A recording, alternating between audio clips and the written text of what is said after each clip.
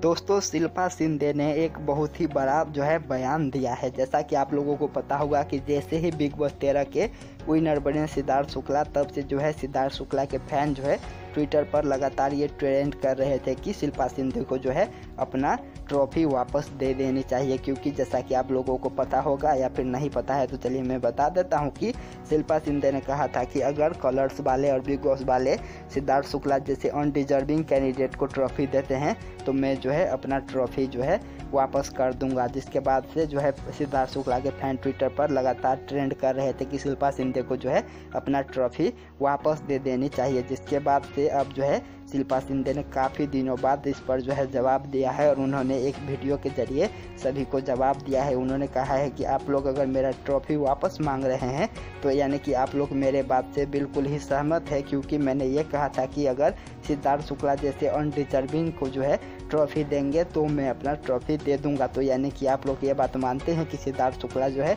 Undeserving थे, उनको जो है ट्रॉफी नहीं देनी चाहिए थी। तो ये बड़ा जवाब जो है सिद्धार्थ शुक्ला के फैंस को दिया है शिल्पा सिंधे ने ये बिल्कुल ही करारा जवाब कह सकते हैं।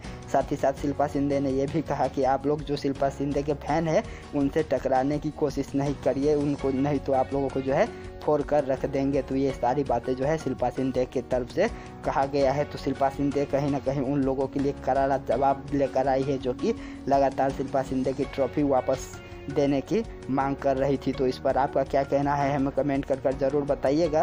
चैनल पर पहली बार आए हैं तो चैनल को सब्सक्राइब कर दे और बेल आइकन का बटन ज़रूर दबाए। वीडियो पसंद आया हो तो लाइक कर दीजिएगा और शेयर भी कर दीजिएगा। मिलते हैं आगे नए अपडेट के साथ। बने रहे एम नेटवर्क पर।